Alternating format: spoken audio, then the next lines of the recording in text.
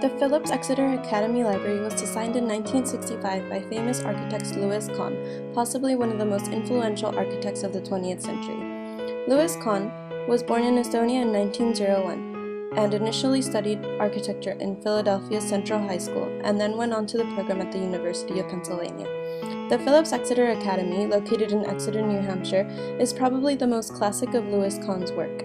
Louis Kahn had very strong ideas about the relationship between institutions and the human agreement.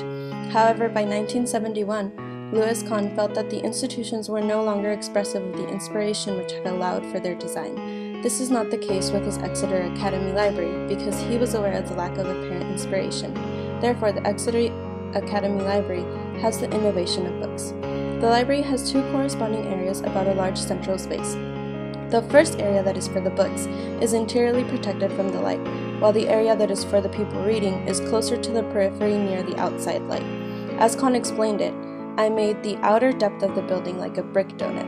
I made the inner depth of the building like a concrete donut, where the books are stored away from the light.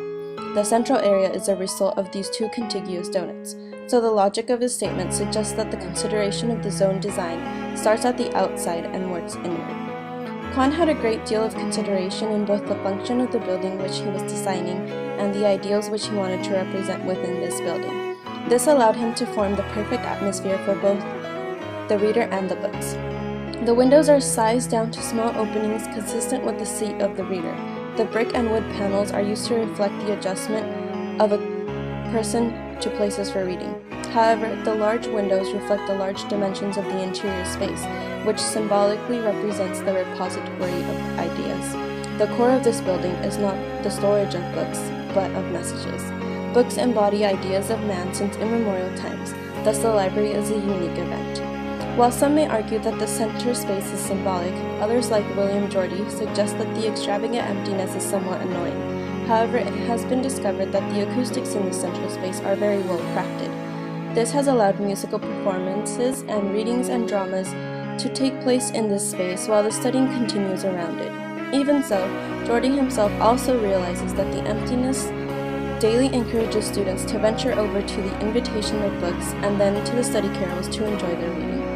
Louis Kahn believes that the human agreement has always been, will always be, and does not belong to measurable qualities and is therefore eternal. The opportunities which present its nature depend on circumstances and on events from which human nature realizes itself. And remembering this will allow us to create not only inhabitable spaces but works of architecture that are offerings to the spirit of architecture and its poetic beginning, like his own Exeter Academy Library.